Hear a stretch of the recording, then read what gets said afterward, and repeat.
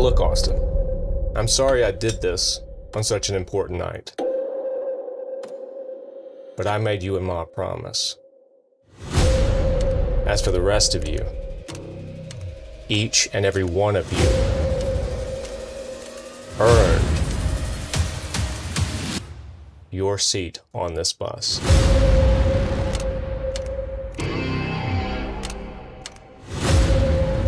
Now, the rules are simple. Either speak the truth, or I burn you with it.